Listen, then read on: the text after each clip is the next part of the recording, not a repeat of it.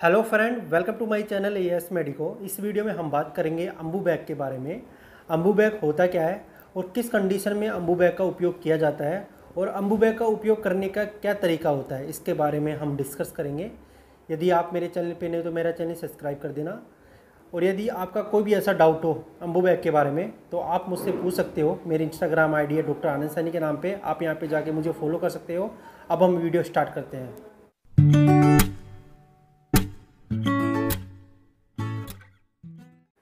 अब हम बात करेंगे अम्बू बैग के बारे में, जो हमारा पहला पॉइंट होगा, जो अम्बू बैग की स्ट्रक्चर के बारे में होगा। अम्बू बैग दिखाई कैसे देता है? ऐसे कौन से पार्ट होते हैं जो अम्बू बैग से कनेक्ट होके एक पूरे अम्बू बैग का निर्माण करते हैं? फिर हम बात करेंगे अम्बू बैग का साइज़ क्या होता है। बड़ों में कौन सा साइज़ यूज़ करते हैं? जो छोटे बच्चे होते हैं, उनमें कौन सा साइज़ यूज़ करते हैं? फिर हम बात करेंगे सबसे आखिर में अम्बू बैग को यूज़ करने का क्या तरीका होता है? और किस कंडीशन में हम अम्बू बैग का यूज़ करते हैं? इसके बारे में हम बात करेंगे। जो तुम्हारी स्क्रीन पे दिख रहा है, ये एक नॉर्मल अम्बू बैग है। अम्बू बैग के आगे वाला जो एरिया है, जिसे फेस मास्क है, जो फेस पे लगाया जाता है, और जो बीच वाला एरिया दिखाई दे रहा है, ये बलून टाइप का स्ट्रक्चर का होता है। ये क्या काम करता है कि जब इसको दबाते हैं तो ऑक्सीजन फेफड़ों में चल जाती है, और बाद में ये पहले वाली कंडीशन में आ जाता है, और ये सिलिकॉन का बना है।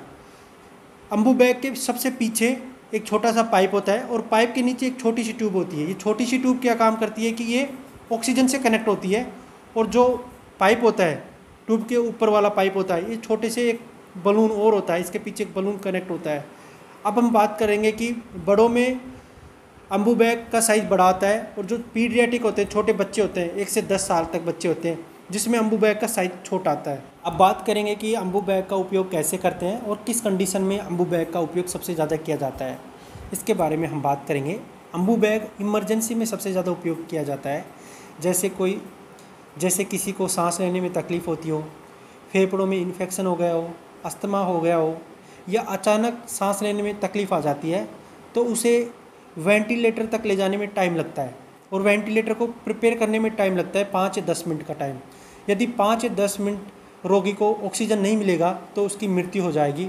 तो उस कंडीशन में हम अम्बू बैग का उपयोग करते हैं। जैसे मैं आपको वीडियो में बताया है, उसके मुँह पे लगाते हैं अम्बू बैग को, मास्क को, और जो अम्बू बैग का जो बलून होता है, उसे चार या पाँच सेकंड में एक बार दबाया जाता है। और जो अम्बू बैग के पीछे ट्यूब होती है, वे ऑक्सीजन सिलेंडर से कनेक्ट होती है। इस प्रकार हम अम्बू बैग का उपयोग करते हैं इमरजेंसी कंडीशन में। जैसे वेंटिलेटर को प्रिपेयर करने में पाँच या दस मिनट का टाइम लगता है। कोई ऐसी कोई चीज़ कोई है वेंटिलेटर जिसको जाते ही कनेक्ट करके आदमी के मुँह पे लगा दें।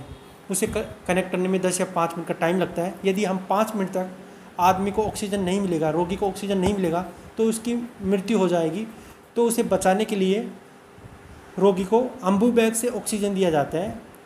तो इस प्रकार हम अम्बू बैग का उपयोग करते हैं। यदि वीडियो आपको अच्छा लगा तो वीडियो को लाइक कर देना और मेरे चैनल को सब्सक्राइब कर देना। Thank you so much